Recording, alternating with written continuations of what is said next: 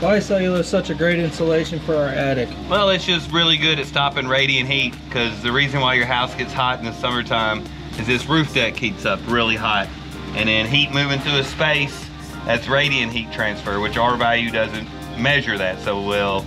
We want an insulation that will stop the radiant heat from being able to come from here to this sheetrock where we got it 70 degrees on the other side in the summertime. So this insulation here does a really good job at slowing that radiant heat transfer down.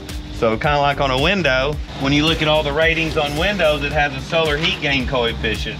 And that will that tells you how well it slows radiant heat down.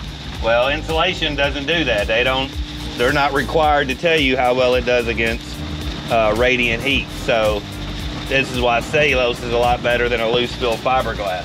It has a higher R value than fiberglass does, but it stops that radiant heat in the summertime better.